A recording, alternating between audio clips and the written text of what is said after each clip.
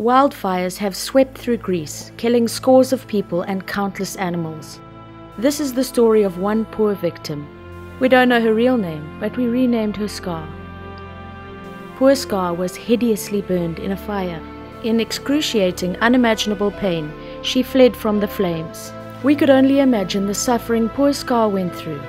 Our partner organization, Ghost Dogs, rushed Scar to the vet where she is undergoing intensive treatment. She is bearing the terrible agony with great bravery, and she has a good chance of making a full recovery. Hundreds of animals were caught in the fires, which were so intense they destroyed an entire town and overwhelmed Greek rescue services. Many poor animals were trapped inside homes when their owners fled.